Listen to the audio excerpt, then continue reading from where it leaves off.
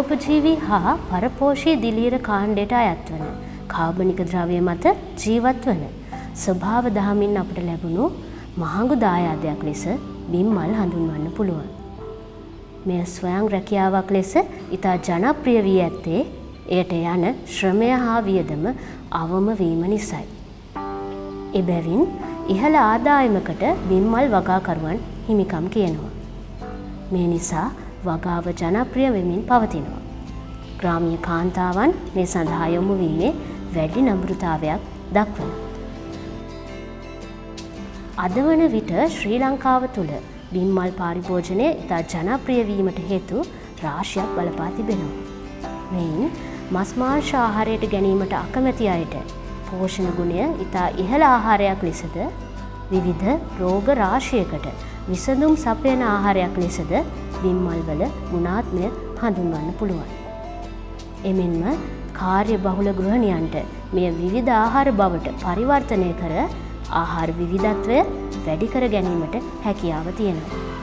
මේ යටතේ මෝජු කටගැස්ම බැදුම සුප් සැන්විච් කට්ලට් සම්බෝලාදී විශාල ආහාර වර්ග ප්‍රමාණයක් සකසා ගැනීමට හැකියාව තිබෙනවා. අද පවතින කාර්ය බහුල ජීවිතය නිසා සකස් කරන ලද ආහාරවලට පාරිභෝගිකයා වැඩි රුචිකත්වයක් දක්වන බව පේනවා. මේ නිසා පාරිභෝගික ඉල්ලුමට සරිලන ලෙස සකස් කළ ආහාරයක් ලෙස වෙළඳ පොල සැපීමෙන් ඉහළ ආදායමක් උපයා ගැනීමේ හැකියාවක් තියෙනවා. ආයිබෝවන් බිම්මල් කියන්නේ වර්තමානය වන විට ජනප්‍රිය ආහාරයක්. අපි මේක ගොඩක්ම ලංකාවෙති භාවිතා කරන්නේ වෑංජනයක් වශයෙන්. නමුත් අද අපි බලාපොරොත්තු වෙන්නේ වෑංජනයකට අමතරව මේක කොහොමද විවිධ ආහාර වර්ග ලෙස සකසා ගන්න කියලා ඔබව දැනුවත් කරන්න. මේ සම්බන්ධයෙන් ආහාර පර්යේෂණ ඒකකේ අමිතා මහත්මිය සූදානම්ව සිටිනවා මේ නිවැරදි තාක්ෂණික ක්‍රම භාවිතා කරලා සකසා ගන්න කෙසේද කියලා ඔබ දැනුවත් කරන්න.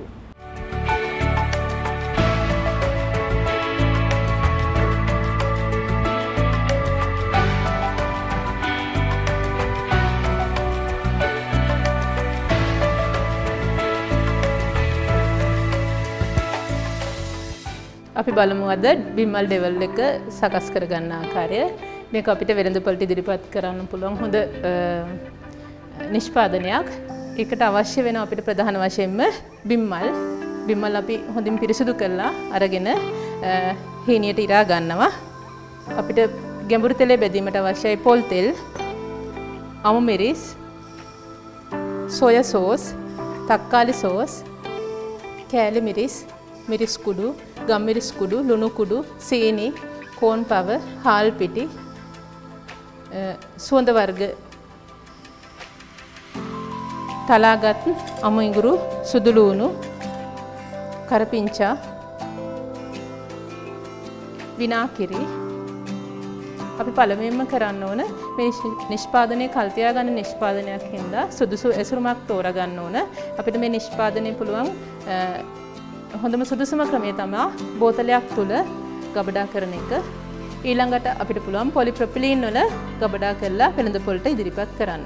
ඉස්සල්ලාම අපි බලමු බෝතලයක් තුළ මේ නිෂ්පාදනය ගබඩා කරලා වෙළඳ පොලට ඉදිරිපත් කරනවා නම් කොහොමද අපි ඒක කරන්න කියලා. අපි ඉස්සල්ලාම හොඳට පිරිසිදු කරලා බෝතල් ටික සෝදලා ගන්නවා. අරගෙන අපිට පුළුවන් සාස්පානක් අරගෙන ඒකට දාලා ඇල්ලතුරත් එක්ක ලිපේ තියලා මේක හොඳින් උතුරවන්න වතුර එක නටන්න පටන්ගෙන නැත්නම් ඉතුරුවට පස්සේ ඉඳලා විනාඩි 20ක් විතර බෝතල් ටික ඒ වතුර එකේම තැම්බෙන්න ඉඩ හරිනවා. ඊට පස්සේ අපි මේ බෝතල් ටික ලිපෙන් ඉවත් කරගන්නවා. අපිට මේක ප්‍රෙෂර් කුකර් එකක් තුලත් කරන්න පුළුවන්. ඊළඟට අපි අපි මේ සකසාගත්තු බිම්මල් ටික ගැඹුරු තෙලේ බැදීම කරගන්න අවශ්‍ය වෙනවා.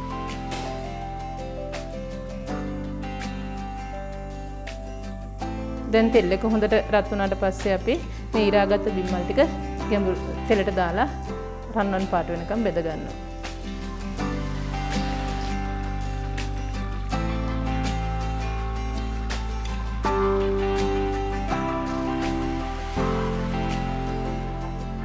ඊළඟට අපි අමු මිරිස් ටිකත් ගැඹුරු තෙලේ බෙද ගන්නවා.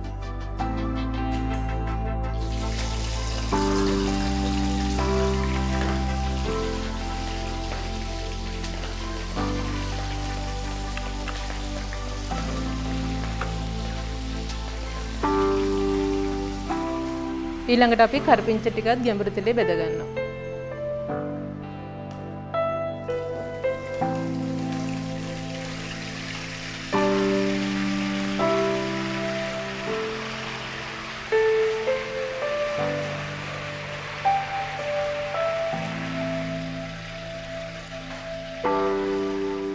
කෝන්ෆ්ලවර් ටික භාජනයකට අරගෙන අපි වතුර ටිකක් දාලා උණු කරලා නිවුණු වතුර දාන්න ඕන. දාලා හොඳට දිය කරගන්නවා.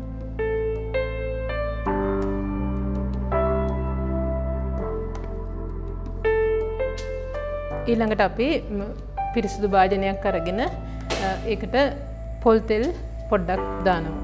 තෙල් ටික රත් කරගන්නවා.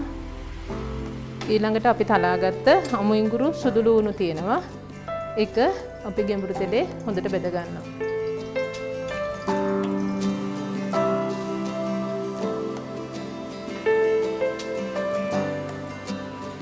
ඊළඟට අපි කෑලි මිරිස් අවශ්‍ය තරම් ලුණු කුඩු ගම්මිරිස් කුඩු සුවඳ වර්ග සීනි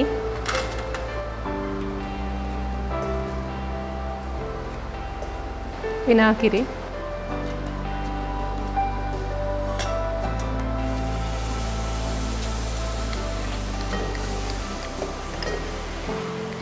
බැදගත්ත බිම්මල් අවුමිරිස් කරපිංච මිශ්‍රණය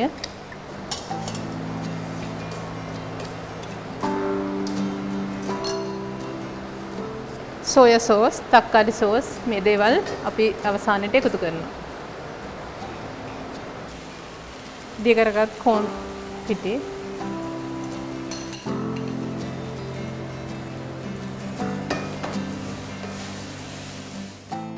ඊළඟට අපි මේ හදාගත්ත ඩෙවල් එක ඇසුරුමකට යොදන්න ඕන. අපිට පුළුවන් වීදුරු බෝතලේ හරි නැතම් ගේජ් තුන්සිය PP පොලිප්‍රපීරින් වල ඇසුරුම් කරණය කරන්න. අපි බලමු වීදුරු බෝතලයක් කොහොමද මේක අසුරා ගැනීම කරන්න කියලා.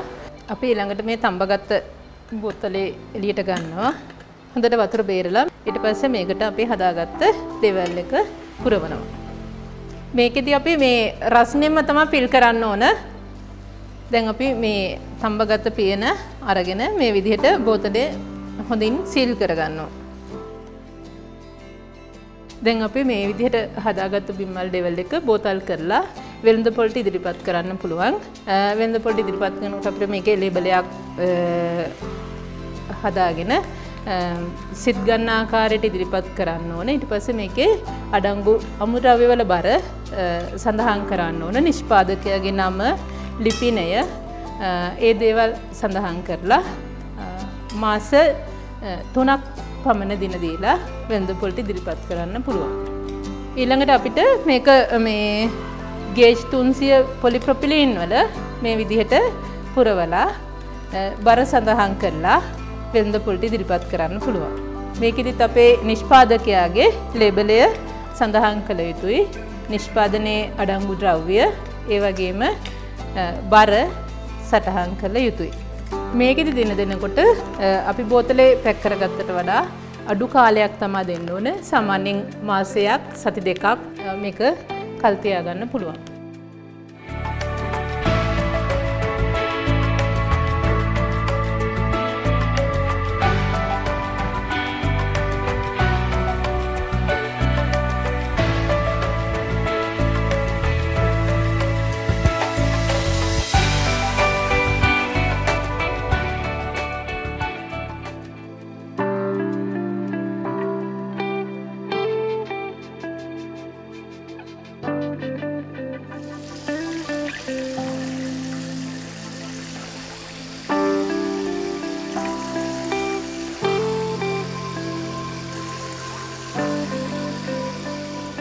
අපි දැන් බෙදගත්ත බිම්මල් වලට මිරිස් කුඩු ලුණු කුඩු රස්නෙම්ම එකතු කරගන්න ඕන. ඊළඟට අපි බලමු මේ මේකට අපි තවත් දේවල් එකතු කරලා මේක වඩාත් රසවත් හා ගුණවත් විදිහට හදාගන්න පුළුවන්. අපි මුරුක්කු ටිකක් කීනියට බෙදගෙන එකතු කරන්න පුළුවන්. අපි මුරුක්කු හදාගන්න විදිහ බලමු. මේකට අපි අවශ්‍ය තරම් මිරිස් කුඩු ලුණු කුඩු එකතු කරනවා. අවශ්‍ය නම් අපිට කහකුරුත් එකතු කරගන්න පුළුවන්. හාල් පිටි වලින් විතරයි මම මේ මුරුක්කු හදන්නේ. ඒ සඳහා වාෂ්ප ගිය උණු ජලය තමයි අපි මේක පිටි මිශ්‍රණය හදාගන්න එකතු කරන්නේ.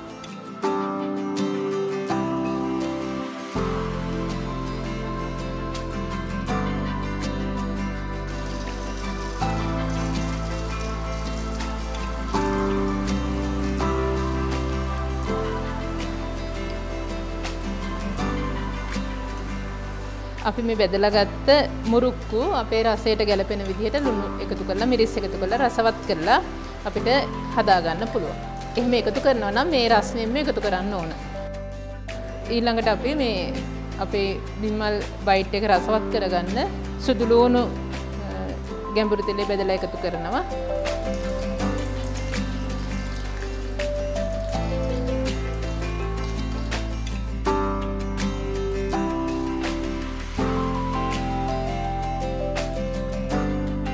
ඊළඟට අපේ කරපිංච ටිකත් ගැඹුරු තෙලේ බැදගන්න.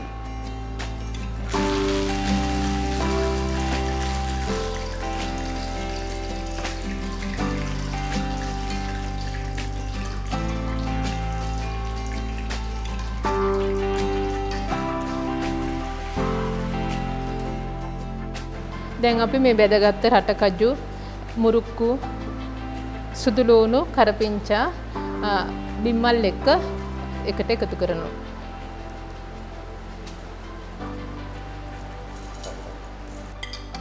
ඉන් පසු හොඳින් කලවං කරනවා.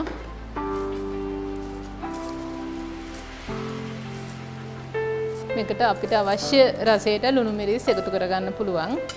ඊළඟට අපි මේක හොඳට නිමෙන්න තියෙනවා. මේ විදිහට සකස් කරගත් බිම්මල් බයිට් එක අපි ඊළඟට ඇසුරුම් කරණය කරගන්න ඕන වෙනවා. ඒ සඳහා අපි යොදා ගන්නවා ගේජ් 300 පොලිප්‍රොපිලීන් බෑග් එකක්. මේ තුල අසුරලා අපිට වෙළඳ පොළට ඉදිරිපත් කරන්න පුළුවන්. මේකෙදි අපිට මාස 3ක් පමණ දින දෙන්න පුළුවන්. එසේනම් ඔබ මේ දැනුම උපයෝගී කරගෙන මේක ස්වයං රැකියාවක් විදිහට ව්‍යාපාරයක් ලෙස දියුණු කරගන්නටත් අවබෝධයක් ලබා ගත්තා. ඉතින් මේ සම්බන්ධයෙන් වැඩිදුර විස්තර ඔබට අවශ්‍ය නම් විමසන්න මෙන්න මේ ලිපිනෙන් නියෝජ්‍ය අධ්‍යක්ෂ ආහාර පර්යේෂණ ඒකකය කෘෂිකර්ම දෙපාර්තමේන්තුව ගන්නෝරුව පේරාදෙණිය කියන ලිපිනය. ඒ වගේම දුරකථන අංකය 0.81යි 2යි 388යි 246. ඒ වගේම ඔබට කෘෂිකාර්මික ගැටලු සම්බන්ධයෙන් බදාදා දිනයක කෘෂිකර්ම උපදේශක කාර්යාලයට ගිහින් කෘෂිකර්ම උපදේශක මහත්මිය හෝ මහත්මිය හමු වෙලා ඔබට ඒ සම්බන්ධ විස්තර ලබා ගන්න පුළුවන්. ඒ විතරක් නෙවෙයි අපේ 1920 දුරකථනයට කතා කරොත් ඔබට පුළුවන් ඔබේ කෘෂිකාර්මික ගැටලු වලට විසඳුම් ලබා ගන්න. ඉතින් අපි ඔබේ නිවසින් අදට සමුගන්නවා ලබන සතියේදීත් ඔබ හමු වීමේ අරමුණින්. එහෙනම් ඔබට සුබ සතියක්.